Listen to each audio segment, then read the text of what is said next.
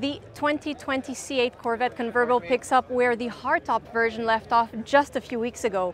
It uses much of the same recipe as that car, including engine, hardware, and transmission, with one big exception. This is the first hardtop convertible Corvette ever. Let's go take a look.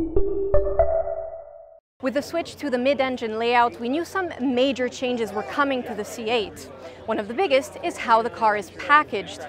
Corvette convertibles obviously have always used the traditional front engine layout with a folding soft top roof.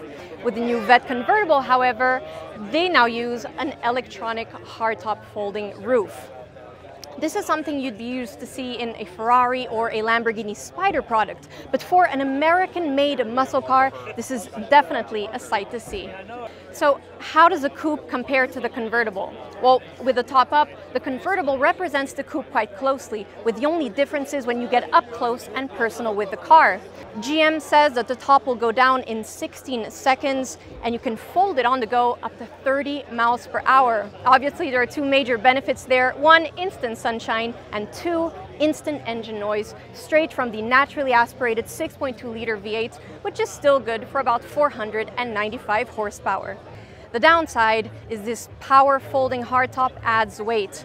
Leaks have suggested about 100 to 102 pounds are added, but Chevrolet has not disclosed the official numbers just yet. This would bring the Corvette's curbside weight to about 3,637 pounds, give or take.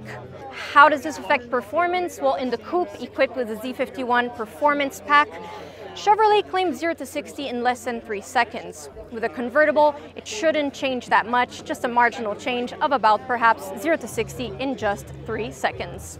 Though you probably remember the interior from the debut a few weeks ago, we can go ahead and show off and recap some of the biggest details. The driver-focused cockpit has this massive row of buttons here on the right, two large displays, and really goes to show Chevrolet's effort into making the C8 feel special.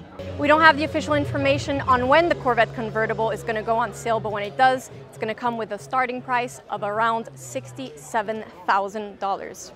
If you want the performance capabilities of a mid-engine Corvette and also want direct access to that noise, then it seems like there's little to compromise with the new Corvette convertible.